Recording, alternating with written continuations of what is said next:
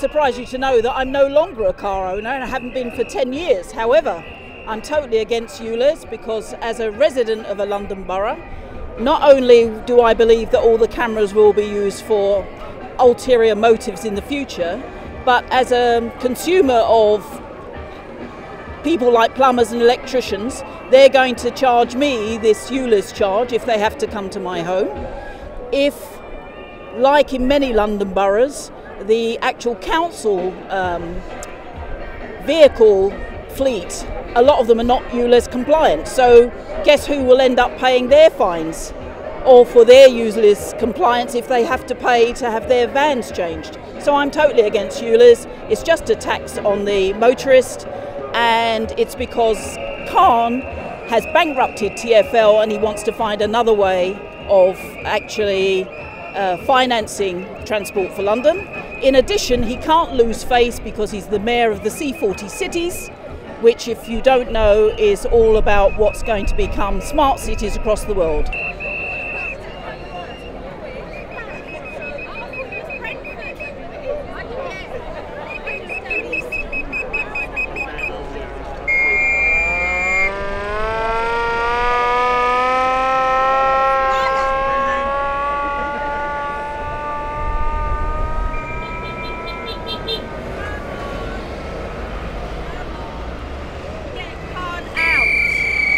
Got here today is uh, a pollution monitor. So what this tells us is how many, how much PM two and a half or how much PM ten is in the air. So at the moment we're at a level of five.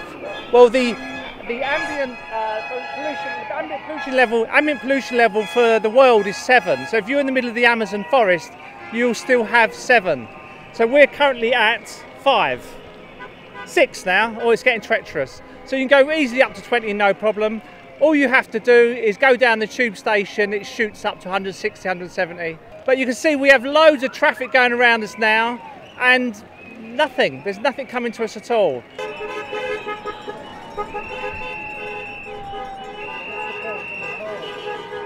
You. I think it's wrong, mate. It's bad.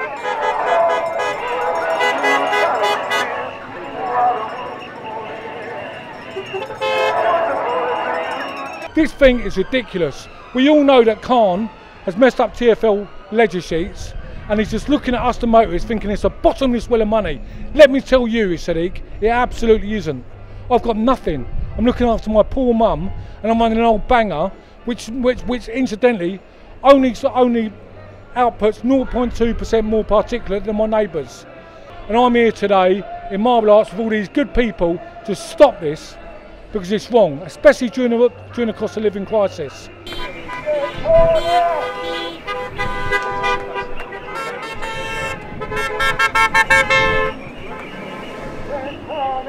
ULEZ is tax on people's freedoms.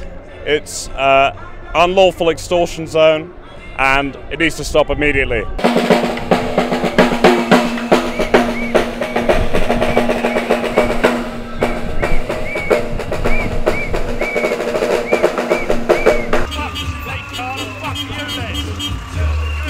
All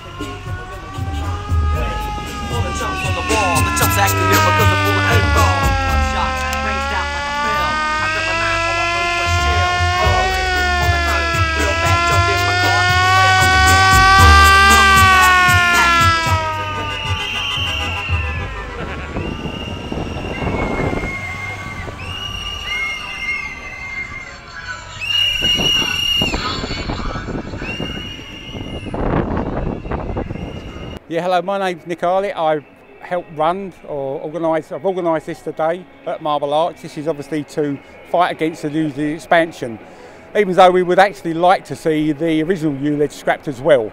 Um, basically because there's no justification for it, it's just quite simple with that. Every, every figure Khan comes up with is a lie, we can prove he's a liar. He doesn't ever want to come up for a proper debate because we would sit and debate with him. He could bring his, his so-called experts, we bring ours, but he won't do it. Two out of three said no, and that's forgetting the fact that Khan discarded over 5,000 votes. He binned them because they come from one organisation. He wouldn't allow it from Fair Fuel UK.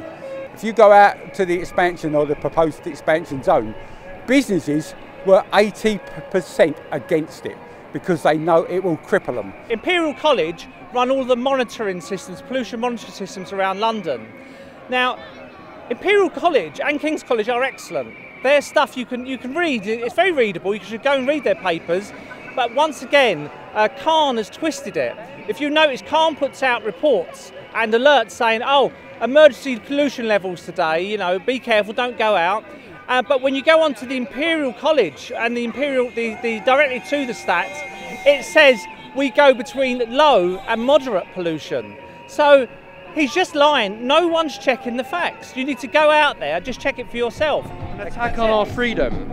It's attack on our way of life, and I want to see things decided by local people in local communities, We agree with that not imposed on us by someone in a very undemocratic way from a, a bureaucratic institution like the Greater London Authority. Well, of course, but originally it was the Tories who introduced it in the name of Boris Johnson. Oh, the On Conservatives can make huge mistakes as well. Yeah, yeah, this is not really a party political issue. This is, as far as I'm concerned, attack on our freedom. And It's about accountability versus uh, it is. versus um, dictatorship. Uh, and no one's voted for this. It's been No. imposed on us. So we need to unite together to, say no Good. to Sadiq Khan and no to any other attempt to take away our freedom. Well, I'm standing there. I'm saying this election is a referendum on yes. uh, the failed political system over the last four years. Well, certainly in Greater London, the whole Yes. system has failed. And areas like mine, which are naturally Essex, we, we feel resentful of being told what to do by by a centrally imposed bureaucracy. Completely. And the opposition in Havering is, is fantastic. Yes, absolutely. But people have got to drive at will and not pay. Yes, And make right. and demand the cameras come down. Quite right too. I, I just hope, hope Mr. Khan has a change of heart, but I don't think he's going to by the sounds of things. Well, we've got to beat him into it. yeah, absolutely. Nice to meet you. Thank you very Thank much. you. Very good to All see you. You too. As far as I'm concerned, it's a big con, it's a money making thing, and it's a way of controlling us, trying to put us all in our little boxes, which we're not going to have. We're not standing for it. People are going to take to the streets, and there are going to be more people doing this sort of thing because this can't happen. We are going to have supposedly have this ULEZ in August, and when you read all what's going on, the people, the elderly people, people sick, that are not going to be able to do this. They're going to be stuck in their homes because they're going to be too frightened to go out the front door.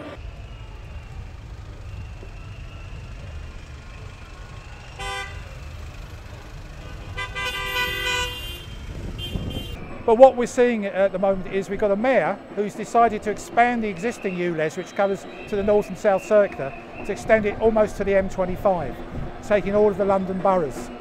And that means all cars uh, and vehicles that do not actually meet emission standards, uh, that means all below Euro 6 diesel and very older petrol cars, will have to pay a £12.50 uh, charge just to come into London. And guess what? All this does is impact on low income families, small businesses. And that's what's happening. And it's been done uh, by ignoring a public consultation where two out of three absolutely objected to this, this scheme. And guess what? Sadiq Khan ignored that and is going ahead and introducing it on August the 24th. Um, it's a disgusting thing. This is why, after 30 years of being a public affairs campaign, I was approached by Richard Tice, uh, Nigel Farage of Reform UK, to say, please, will you stand? You'll be able to get the message. And I've currently got about 8 to 9% of the vote from a standing position. Watch this space for the next 11 months. There's a lot coming through. Today, a great little anti-ULEZ protest. It'd be good to have more people, but if other people are active in every area, that is okay. You don't necessarily need many more here to make the impact here.